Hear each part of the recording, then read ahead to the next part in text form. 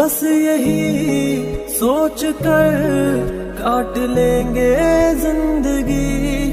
अपनी किस्मत में शायद नहीं थी आशिकी। बस यही दर्द हमको रहेगा उम्र भर। क्यों मिले, क्यों गए इस तरह?